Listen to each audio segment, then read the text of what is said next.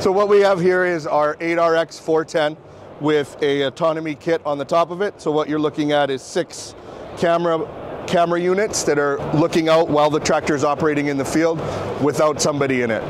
Now, we're process. How much data, how much information are we seeing and processing? Yeah. So what it is is these cameras are picking up not only depth, how far things are away, but also objects in the field that it may not be familiar with. And so every day we're doing something called machine learning, and it's learning and learning and learning, taking these these images that it knows, and we we're, we're able to identify what it is and if the tractor can continue. Everything is done through our John Deere Operations Center, and everything is done. That's the heartbeat of the system. They're able to go onto John John Deere Op Center, um, make a path plan, see where their tractor is at all times, and it also is available on the mobile device as well.